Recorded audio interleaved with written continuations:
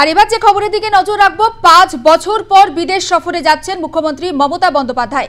এগারো দিনের বিদেশ সফরে যাচ্ছেন মুখ্যমন্ত্রী মমতা বন্দ্যোপাধ্যায় এবং সেই সফরের জন্য তিনি কলকাতা বিমানবন্দর থেকে ইতিমধ্যে রওনাও দিয়ে দিয়েছেন।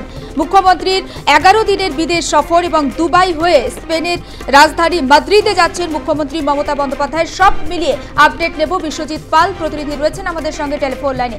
বিশ্বজিৎ, ঠিক কি আপডেট রয়েছে? বিমানবন্দর থেকে কিছু কি বার্তা দিলেন মুখ্যমন্ত্রী? অবশ্যই কেন মুখ্যমন্ত্রী যেটা দমদম বিমানবন্দরে আসলেন, ঠিক নটা পঁয়ত্রিশ নাগাদ এবং তার দশটা পঞ্চাশে যে বিমান, অর্থাৎ এমিরেটসের যে বিমান, সেই বিমানে করে যাবেন এবং সেই বিমানে কিন্তু মুখ্যমন্ত্রী যেটা দাবি করলেন যে কলকাতার বেশ কয়েকটি ক্লাবের সদস্যরা রয়েছেন এবং পাশাপাশি বেশ কয়েকজন ব্যবসায়ী থেকে আরম্ভ করে সাংবাদিকরাও কিন্তু রয়েছেন এবং তার এগারো দিনের সফর এবং প্রথম তিনি যাবেন দুবাই এবং দুবাই থেকে কিন্তু মাদ্রিদ মাদ্রিদ থেকে বার্সেলোনা এবং ফের দুবাই। অর্থাৎ তার একাধিক কর্মসূচি রয়েছে বিদেশে।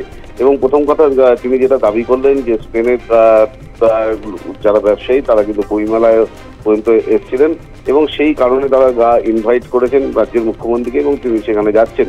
অর্থাৎ এই বেঙ্গল যে সামিট বেঙ্গল সামিটে কিন্তু যাদের বিদেশ থেকে ব্যবসায়ীরা আমাদের রাজ্যে আসে এবং সেই নিয়েই কিন্তু তিনি বিদেশ সফরে যাচ্ছেন এবং একাধিক জায়গায় তার বৈঠক রয়েছে ব্যবসায়ীদের সঙ্গে এবং তার সঙ্গে বেশ কয়েকজন ব্যবসায়ীও গিয়েছেন।